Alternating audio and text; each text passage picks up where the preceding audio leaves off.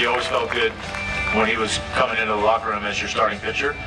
John's the kind of guy that you knew his compete level, you knew what his stuff was, you knew, you know, any given night he had the ability to go out there and, and dominate a game. Another strikeout for Smoltz, another strikeout for John Smoltz. Man of the hour tonight of John Smoltz. But there was just something about those big games, whether it be down the stretch or in, in a postseason environment, that seemed to bring out the best in him.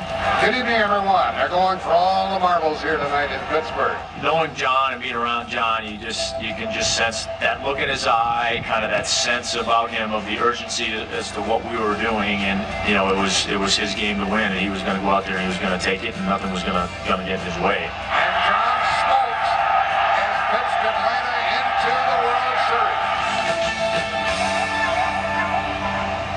Kind of guy he would bet you whether the sun was going to come up in the morning. I mean, it's just he was. If you challenge him to do something, he's going to believe that he can do it until he proves to himself that he can. He doesn't care what anybody else says. You know, he was the same way on the golf course. You know, if he was having a brutal, brutal round of golf or, or front nine, he'd, he'd be the first to stand on the on the 10th tee and say, "Okay, boys, I'm going to shoot four under on the back. What are my odds?" In his mind, he could flip the switch and he could do it. So that was just kind of his personality, and I think it's what made him tick. Brings on the closer of the Braves, John Smoltz. Well, you know his story. He was a starter and went to the bullpen, and boy, he has done some job. It was like any other challenge uh, that faced John. He was going to face it head on, and he was going to go out there and he was going to become good at it. Just so happened he, during the time frame that he was a closer, he was one of the best in the game. Smoltz strikes out the side in the bottom half of the ninth inning. This time saving it for Tom Glavine. There's something about those last three outs of the game that are different than any others. For John, A, he had the stuff to do it, but he had the mentality to do it. Like I said, he wasn't fearful of anything. It was as close to automatic as you were going to get. You saw him coming in, and it was, this is all but over.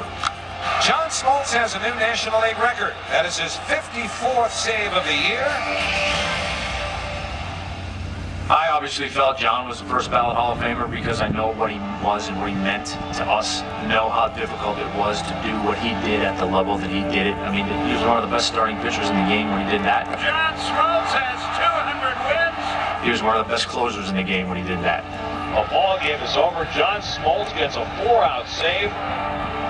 As his teammate, as his friend, he was as good as there was at what he did. And, you know, it's really, really cool that you know, whenever anybody talks about the Braves, it's Glavine Maddox, Smoltz, Smoltz, Glavine Maddox, you know, whatever combination you want to put us in. They always talk about the three of us. And now for the three of us to be enshrined at Cooperstown together, it's a pretty cool ending place.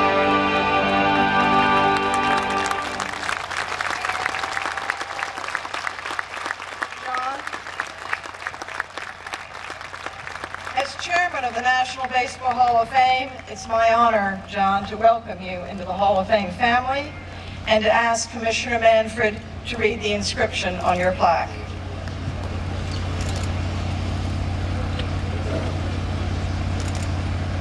John Andrew Smoltz, Atlanta National League, 1988 through 99 and 2001 through 2008.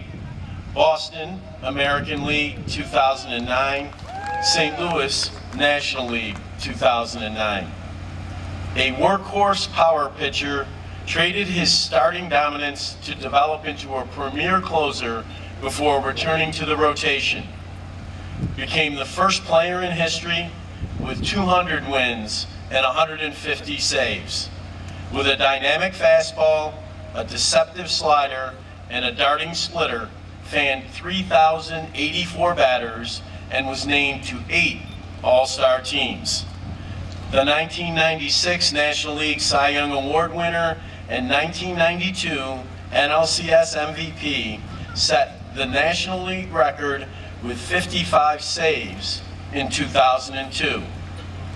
Pitched best when the game was the biggest, recording a 15 and 4 postseason record, helping the Braves to win the 1995 World Series title.